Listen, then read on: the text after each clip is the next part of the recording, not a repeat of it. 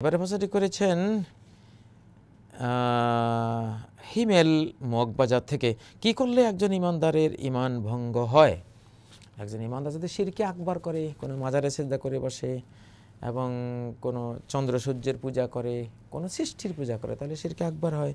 সে আল্লাহকে পাওয়ার জন্য তার আর আল্লাহর মাঝখানে একজন ভায়া ধরলো, একজন ধর্মগুরুকে মাধ্যম মনে করে, যেমন খ্রিস্টানরা পাদ্রি আর পোপ ধরে বা পত্তলিকরা তাদের ঠাকুর ব্রাহ্মণ ধরে এক এক ধর্মের মানুষেরা মনে করে যে যাহার গৃহে পুরোহিত নেই, দেবতা তাহার অর্চনা গ্রহণ করিবেন না। এখন যাহার গৃহে পীর নেই, আল্লাহ তাহার এবাদত গ্রহণ করিবেন না। এমন যদি কেউ বিশ্বাস করে, তার ইসলাম ভঙ্গ হয়ে যাবে। কারণ আল্লাহকে ডাইরেক্ট এবাদত দিতে হবে, সরাসরি।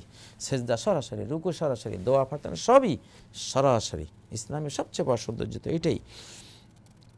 তারপর যদি কেউ ইসলামের বিজয়কে ঘৃণা করে, ইসলামের বিজয় হলে তার খুব খারাপ লাগে, ইসলাম পরাস্ত হলে ভালো লাগে, তার ইমান নাই, ইমান নষ্ট হয়ে যাবে।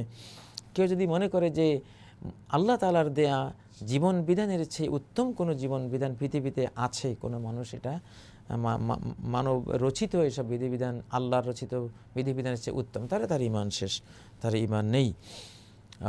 তেমনিভাবে কেউ যদি মনে করে, আল্লাহ ছাড়া কেউ এলমুল গাইব জানেন, কোনো পীর এলমুল গাইব জানে, টিয়া পাখি গাইব জানে, গণক, জ্যোতিষীরা গাইব জানে, এ জাতীয় আল্লাহর কোনো সিফাত, কোনো সৃষ্টির উপর প্রয়োগ করে তার ইমান ভঙ্গ হয়ে যাবে। এভাবে ইমান ভঙ্গ হওয়ার বৃষ্টির মতো কারণ আছে, কিন্তু এখন এই ছোট্ট পরিসরে এতগুলো বলার সুযোগ নেই।